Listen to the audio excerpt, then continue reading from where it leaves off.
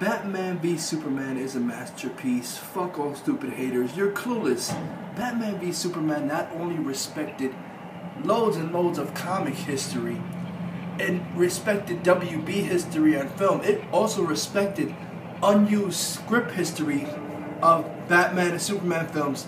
Like I said, there's so much stuff uh, that uh, comic-wise Batman v Superman goes into. It goes into uh, elements of Dark Knight Returns, elements of the death of Superman story arc, so many um, elements of Flashpoint, elements of Injustice, but not only there's a, there's a whole Screen Rant art Screen Rant article, but I said this way before them. Uh, if I find it, I'll put the link, but right now I can't find it. It says exactly what I said. They also took stuff, like I said, WB when they get scripts that they never use, they pay a lot of money for that. So they never just throw those scripts in the garbage.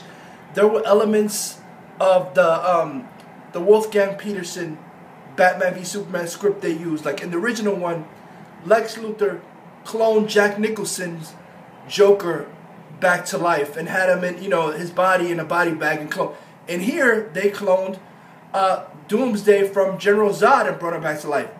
They took, like I said, they took elements from the Tim Burton, uh, Kevin Smith Death of Superman story arc. They put him in here. There was elements of Batman Triumphant in here. So and and also respected Warner Brothers tradition. It it did it worked on all cylinders. It respected comic book tradition. So many stuff. It, it respected WB movie uh, tradition. I remember that's what I hated about Nolan's piece of shit. The original Batman films felt like Warner Brothers films. They felt like DC comic films and they felt like Batman and Superman films. Nolan shit, none of the above. I love the classic Warner Brothers films. They have that, even though Dick Tracy is a Disney film, it had that kind of Dick tracy type of comic book feel. That's exactly what Batman v Superman was like. So, it to me, it worked on all cylinders. Stupid idiots that wanted Chris Nolan shit.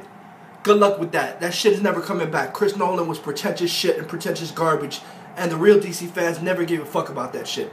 So yes, like I said, it worked in respecting a whole bunch of different comic book storylines. It worked in respecting the Warner Brothers tradition of classic films that they put, and it worked in respecting unused elements of previous Batman and Superman scripts that we've seen throughout the years. Superman Lives had Doomsday in it.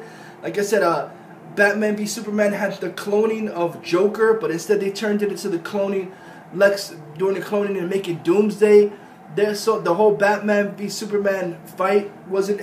Robin's death was actually in the Wolfgang Petersen 2002 script, but they had it Dick Grayson, which I thought was stupid. I that better be Jason Todd's. Uh, so they had all these elements, and Zack Snyder put himself into it, put the comic book vision, and he did a really hard task and he succeeded with it. So yes, the real fans, uh, DC fan, the real DC fan, not the fucking poser bitches, not the Marvel. Nobody cares what you Marvel cocksuckers. Your movies suck. Your movies, DC is better than your movies.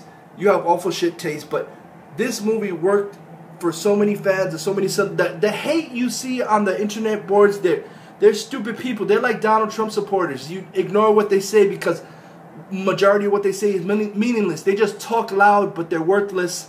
And in the end run, they don't matter. Look at 800 million and counting.